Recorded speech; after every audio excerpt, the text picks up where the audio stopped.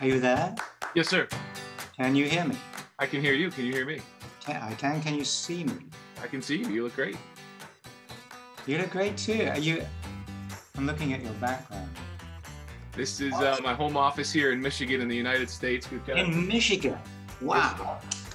some Star Wars toys as I'm a collector. You've got the screen up behind you. It would have been tactful to have a C3PO uh, doll um, there, but I, I guess. We'll get to this, of course. Hey, fantastic. How old were you when you saw Star Wars? Oh my. Um, the re-releases in the 1990s, I was I was born in 1989, so when the re-releases came out, that was a big deal in my house. Doesn't really count, frankly. You had to be there at the beginning. okay, speak to me, Brad. Speak to me. Talk to me. Sir Anthony Daniels joining us to talk about the book that's released that's been out, but you had the hardcover and now there's this whole new release and you're so excited about this, I'm sure. I, I was tremendously ex- excited about the hardcover, which came out about a year ago now. So just in time for that stocking stuffing time, yes, Christmas is going to be here very, very shortly. Just in time for that, you have the um, the slightly physically smaller, but exactly the same as, as, the big book there. Still, it's got its 24 pages of, of photographs, all sorts of little details and things. But actually, having it in paperback reminded me what it was like uh, as a young person. We always had paperbacks. Something a bit special about a hardback cover, but this one, the paperback, yeah, you can you can abuse it a bit it's so amazing to read what you write about there your whole journey the story of my life and of course your life is so much now intertwined with star wars. For people now that get an offer to be a part of a star wars movie the answer would be how quickly can i get to the set? Tell me where i can sign. But for you that experience was a little bit different. You had some apprehension it's a little cruel to remind me of my well, how I was back then when I was about 27, I think, because I talk in the book about a phone call from my agent who was talking about a little sci fi film made by an unknown American. And it was part of a robot and there wasn't much money. And I said, no. And she said, well, yeah, why don't you go? Well, actually said, don't be so stupid, go and find out what it's about. And that led, meeting George that day, and seeing Ralph McQuarrie's uh, original design, which is in the book, um, changed my life. How stupid can I be to turn down an offer just because I didn't like the sound of it? Boy, was I lucky because the Force, not that I'd heard of it back then, but nobody had heard of it. When I read The Star Wars, as it was called, uh, nobody had ever heard of the Thor, the Force. Now imagine imagine a world where nobody had heard of the Force. That was a bit. Um, I can't. I was born in 1989. The only world I know is one with Star Wars. Oh, please, did you have to mention that? There is the front cover of the original script that, uh, that I read. All by myself, I didn't understand it for a moment, apart from the fact I liked C3PO. Wow. And so now C3PO, this is my father's toy, his action figure. My three year old son when they my parents moved out of their house last year, uh, jumps right in the box and said, I, I think he calls you 3PCO. And this was the toy. Your legs are rarely on. This is a rare moment to see the legs on here. This has gotten a lot of play through generations. How wild is that to know that that's that's the standard across this world? It is wild, but uh, hey, mine is bigger than yours. Okay, it's great that uh, everybody has played with it. Your dad, you, and your son. I love it. And I know his limbs will get a bit looser and a bit like he's a bit more fragile and wobbly standing up. But you know, that's like the real thing. That's me too, because time's moved on. But people, I know there's this whole thing about keeping toys in boxes, but hey, they were meant to be played with. So go for it. When when you were a part of this now final trilogy of the Skywalker saga, um, and, and jumped back on the set, J.J. Abrams writes the foreword of this book and does a beautiful job. Um, the friendship, the respect, the reverence that he has for you, that youthful energy that you carry with you. C3PO is ageless, and you seemingly are ageless as well. Well, it, it always made me smile. Um, some years ago, I was in Detroit uh, hosting Star Wars in concert, and I know many of your viewers will have been there seeing this huge symphony orchestra, the big screen, John Williams music. But every night I used to look up the, the uh, screenshots, the little vignettes from all the films and see Carrie and, and Mark and Harrison as they were back in 1976. And I think, oh, wow, whatever happened? Uh, but of course, uh, I aged as well, but you can't see it. I've got this face in, in front of mine. Um, right. Brilliant on idea. The inside, on the inside, I'm right up with them, I'm afraid. But it's okay. When, when, when you were asked to be such a key part of that final trilogy, um, and again, with the relationship that you had with the previous cast, to know that Harrison Ford would be back, to know that Mark Hamill and Carrie Fisher would be back, um, did, did you get goosebumps knowing that this was coming back, or did you have apprehension like you did the first time you signed on?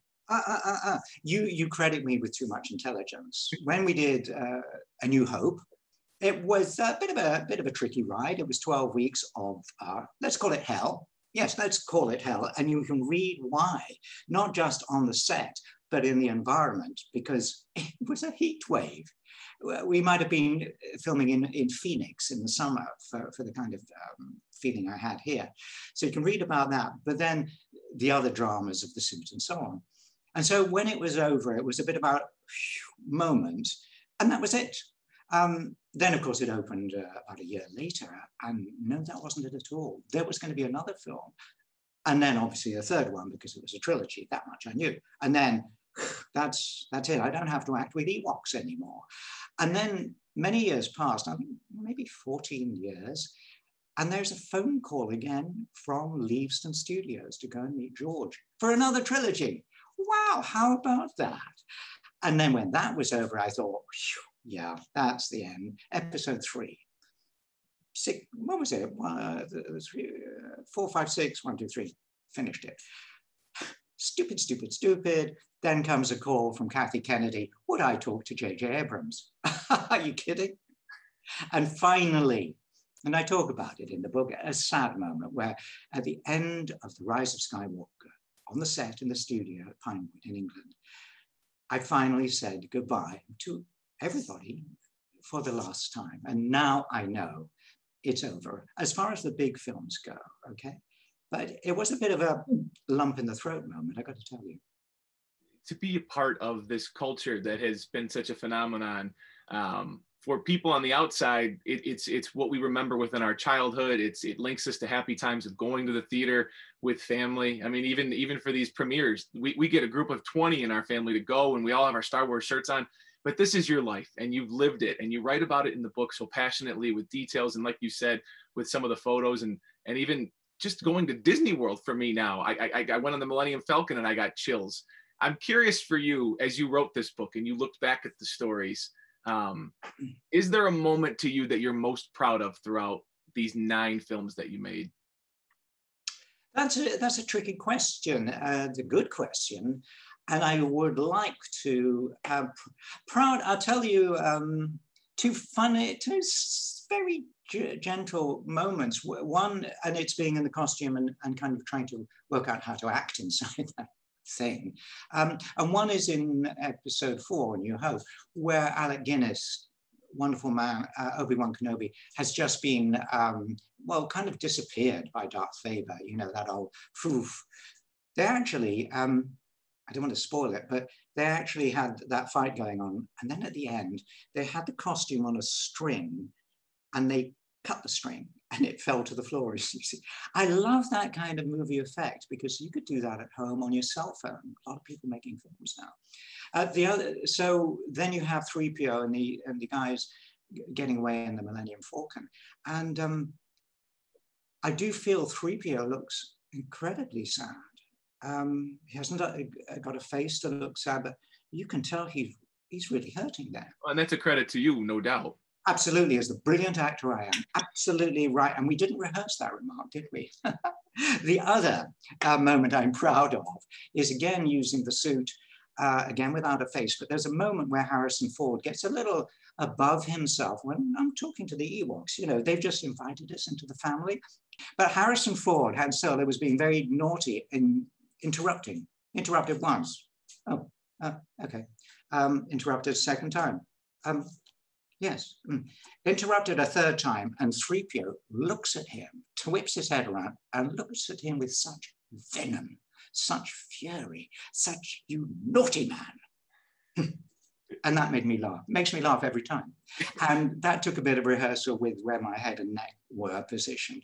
So very tiny moments of being proud of. But I am proud to have been in the whole thing and proud, immensely proud when people come up to me and say, are you C3PO?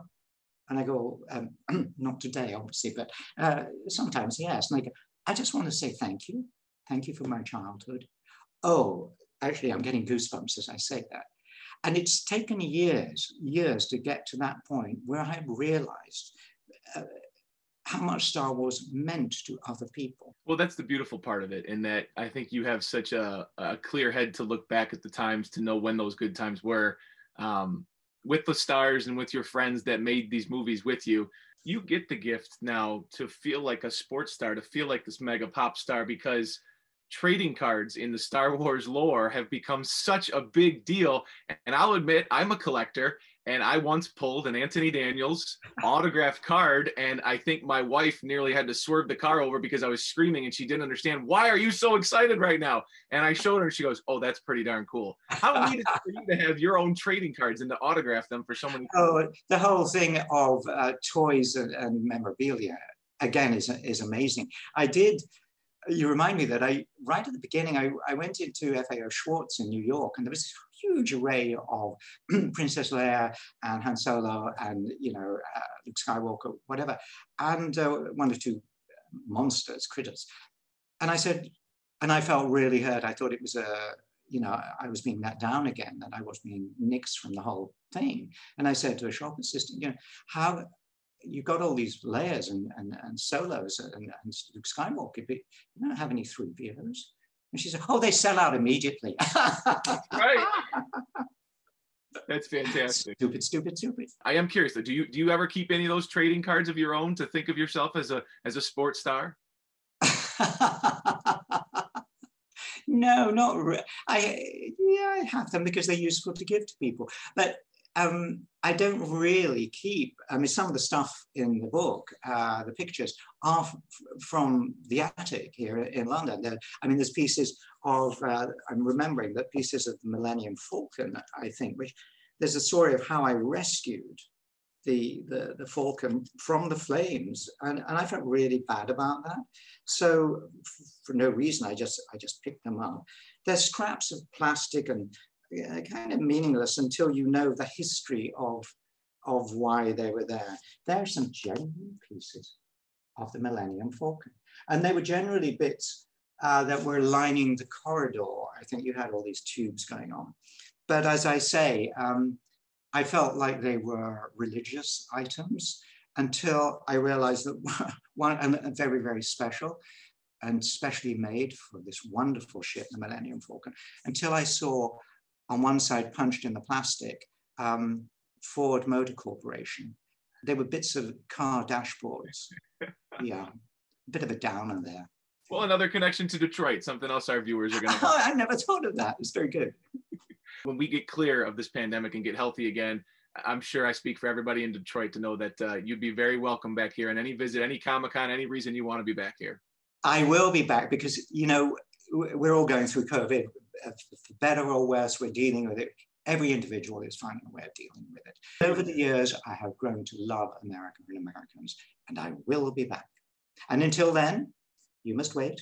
And um, may the force be with you all. An absolute pleasure to talk with you, Sir Anthony. Oh, the book is in paperback. I am C3PO, like you said, a perfect time to pick it up and get it for a family member. I thoroughly enjoyed just the positive nature of it. Look at that. It's perfect. Hey, it had to happen. Um, Thank you so much. Yeah, let's stay positive, okay? Absolutely. Yes, sir. Good luck, everyone. Bye, Brad.